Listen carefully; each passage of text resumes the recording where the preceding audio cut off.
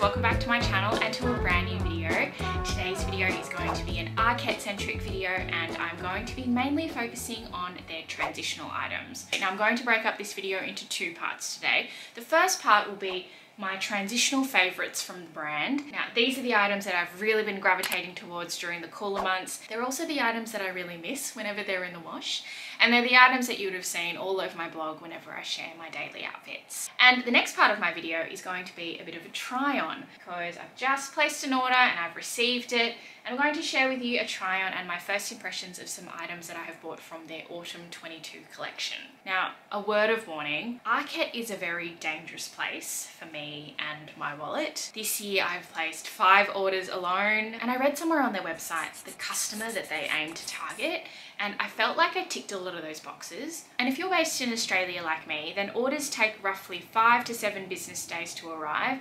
We still don't have a store here in Australia. I don't know whether one is in the works, but considering Arket only started shipping to us about two years ago-ish, I'm not gonna complain. Now, the things you should know before I start sharing with you how the items have fit on me and how I've gotten along with them is I'm petite. I'm 5'2", I'm 158 centimeters, and I'll pop all of my sizing information just magically over here. I'm pear-shaped, I have a longer torso, and I have short and stubbier legs, and so it's not always straightforward to find items that fit me perfectly straight off the rack or like shopping from the high street. Petite people, I'm sure you can appreciate. Okay, so let's get the party started.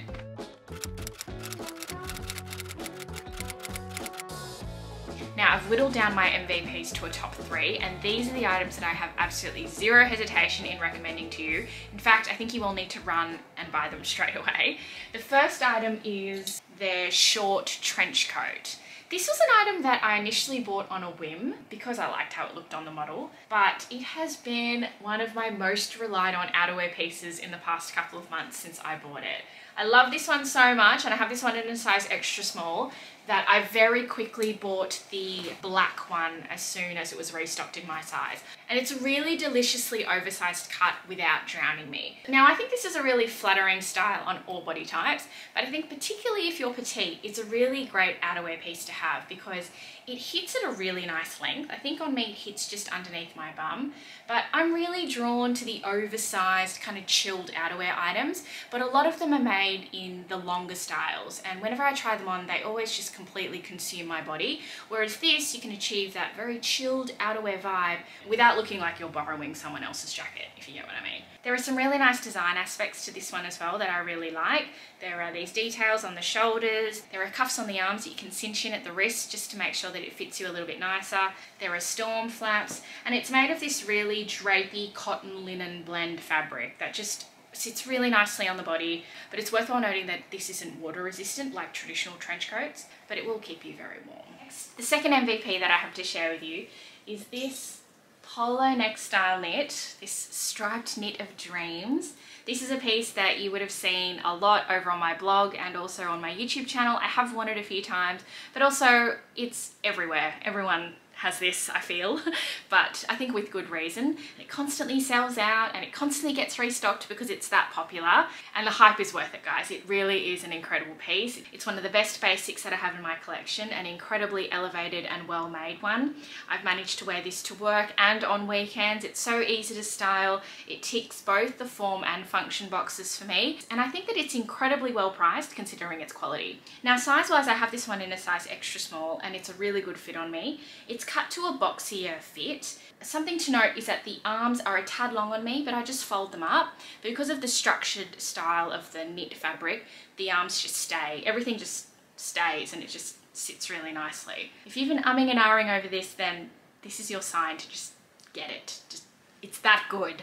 And to round out my transitional MVPs, I have here a merino long sleeve style knit and I have this in three colors. I've got it in black, I've got it in brown and I also have it in beige. I think the beige is now sold out, but it's still available in brown and black. And I love this style of top so much, I am even contemplating getting it in some of the brighter colors that it comes in because it is such a flattering cut and style. Now this style of top, I can definitively say I have worn the most during the autumn winter season. They are incredible pieces for layering. I find that I can get away with wearing just this top and a blazer and I'm set and warm for a work day or this style top and a coat if it's a cooler day. They also look great just on their own because they're a really nice fitted cut, particularly if I am wearing something looser down the bottom, like my wide leg trousers or a midi skirt, for example. Now on the website, it does say that these items are slightly transparent and I do agree with that. I think that they are slightly sheer. Um, I have been asked whether they are still appropriate to wear to the office and yes, these are the tops that I've been wearing most to the office. I do think though that if you were to wear say a fluoro green bra then it would be obvious and so just save that fluoro green bra for something more opaque and stick with something a little bit more neutral when it comes to wearing these items. Now size wise I have these in a size small. I originally bought the extra small when I first tried them on and I found that it was just a little bit too tight and not very comfortable so I will size up in more of the fitted items just to have more of a comfortable fit.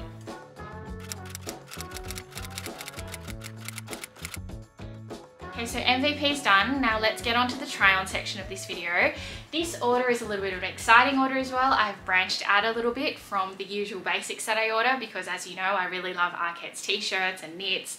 I typically only stick with their tops, but I've expanded my horizons and I have a pair of trousers in this order as well as two dresses. And so I'm really excited to give them a go. I'm not sure whether they'll work. That is just the petite conundrum. And so let's just get stuck in and let the sticking begin.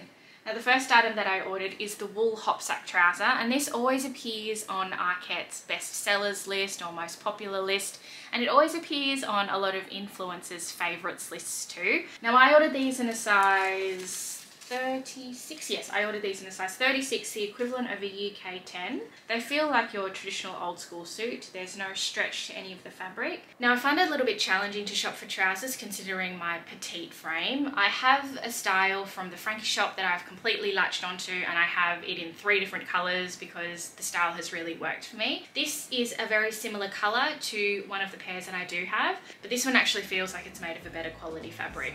Yeah look Let's see how they go. I have a feeling that they will be too long, but let's just see how they fit around the waist. Hmm. I don't think we're off to the greatest start here, people. Uh, a few things that I am not particularly pleased with. Let's start off with the good things though. Um, that is that the size 36 is the right size, particularly around my waist. It's fitting quite nicely.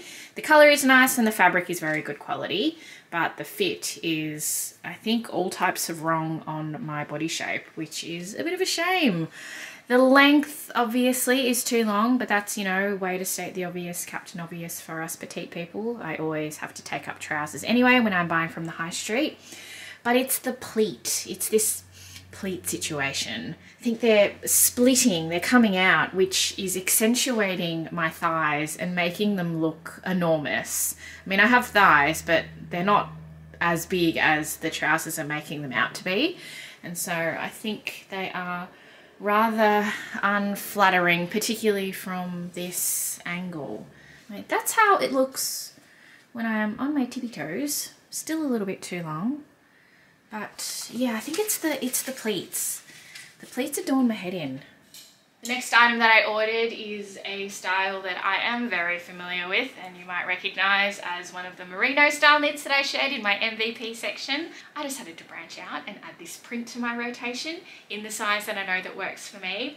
I have high hopes for this one and I'm really looking forward to integrating this into my current wardrobe. Unless they have drastically changed the way that it fits, I have a feeling that this will be a home run and so let's try it on and see how it goes. Well, this is a little bit of a no-brainer if I say so myself. I'm really glad I managed to pick this one up. This is a limited edition print and I really love it. I love that it's still in a monochromatic palette, which means that it still works with the neutrals that I wear, particularly to work. I got a little bit excited and I've put on my Anine Bing satin silk skirt as well as my Dior pumps because this is an outfit that I would happily wear to the office. I think it's quite dressy if anything, even though it's so simple. But I mean, look at this print up close. It's really quite lovely and a very flattering fit. Well, this is most definitely staying and is the fourth top that I have in this style.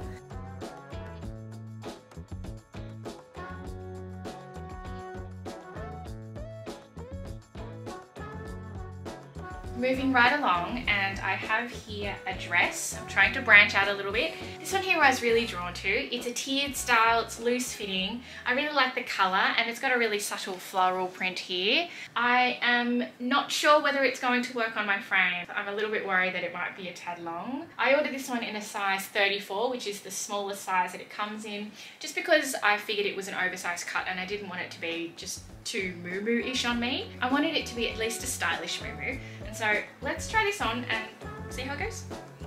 So I am a virgin no longer. I have officially popped my Arket dress cherry and yeah, I am, I mean, I like it. I don't love it. I'm on the fence about it, but I am open to it right now. I think it's hard to picture how it would look if I were to completely style it because my hair's not done and I'm not wearing much makeup today and I feel like I'm not sort of at my best in order to be able to assess whether or not it will work if I were to wear it to an event. I mean, there are all those petite styling rules that you read and a drop waist, which this has, is something that you are not recommended to wear as a petite because it can make you look shorter. I'm undecided. Let me know what you guys think. I think the smaller size was definitely a good call though because I think if I went for the bigger size then it would be way too big on me and just way too long. Yeah, what do you guys think?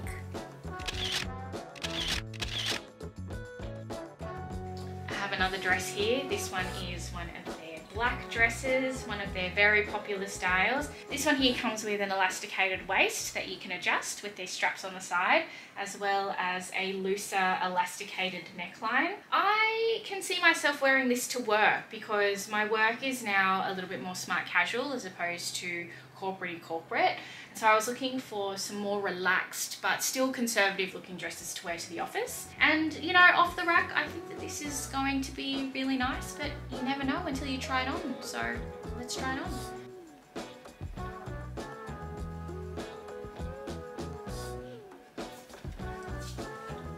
Okay, this is my jam. This is my cup of tea. I'm very comfortable in this dress.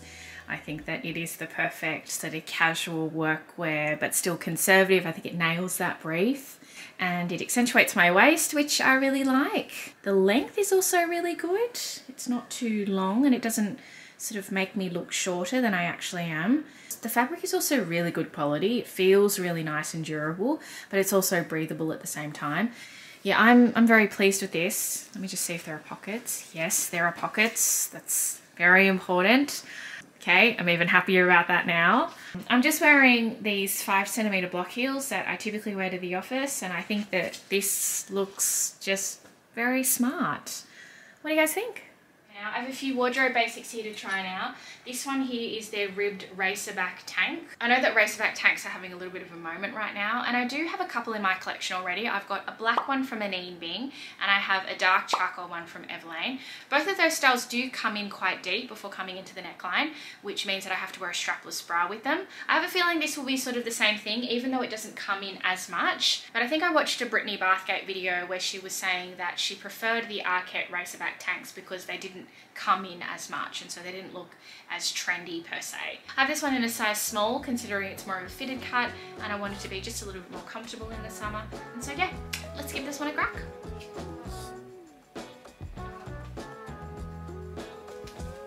So I've switched out to a strapless bra for this one just so that there wouldn't be any visible bra straps because they do show on the sides even though the racer back cut isn't as severe as the other styles that we're seeing around at the moment. The fabric of this one is really comfortable and really soft. The size small was a good call. Well done me, good choice there. It fits me really well. It's not too tight, but it's also not too loose. And I think it's fitting the way that it should be fitting, particularly with this style top pretty happy. The second last item that I ordered, I've only got one more here to share with you, is this heavyweight t-shirt. And I first tried the heavyweight t-shirt in an order earlier this year in the tan color. I got that one in a size extra small and I was blown away by the quality because as you know, my favorite t-shirt ever is the Arket Classic Crewneck tee. But I am really looking now to upgrade all of those classic tees to the heavyweight tees, which have the same sort of cut but in this really premium fabric. And so I have the tan in the extra small, probably a bit too fitted for my liking. I have the white one now in a size small. I ordered that probably a couple months ago, the same time I ordered the um, short trench coat and I really love it. And so I decided to add a black one to my collection. And so again, I have a feeling this is gonna be a home run because I really love their t-shirts. This one feels really premium. And so let me put this on and let me show you. Here is the No Brainer Heavyweight Black T-shirt. The small, as you can see, is a little bit oversized on me, but I actually like that. I like that it's more of a relaxed cut. I've just worn it untucked just over a pair of light coloured trousers and my Dior slingbacks again, and I think that this is a very smart look very minimal but I also do like tucking in the t-shirt as well because as you can see it does make me look taller and slimmer yeah this feels really premium quality as is expected with all of their heavyweight t-shirts. This is now the third one that I have in my collection and I can see myself adding pretty much all the colours. And last but not least, I've heard some amazing things about their linen and considering we're heading into summer here in Australia, I decided to get myself a pair of linen shorts. These aren't quite Bermuda shorts, they probably sit between a Bermuda short and a short short. They are a really nice heavyweight fabric. I've never tried Arket linen before. I do have their linen shirts on my radar that I really want to try out at some stage. I ordered these shorts in a size, what size are you? Probably size 36. Yep, a size 36, which is equivalent of an Australian or a UK 10. Because they're on sale, I'm not sure whether they will be available right now, but they're a style that constantly get released with the new season. That's the thing about Arket too, they always re-release the same styles. It's not as trend-based as other high street stores. And so, let me pop these on.